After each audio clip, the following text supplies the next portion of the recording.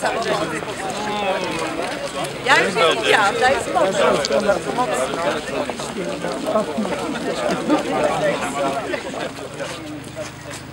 Obejrzeli parę takich. A takich samochodów w województwie pomorskim jest ponad 200. Dlaczego mówiłem, że?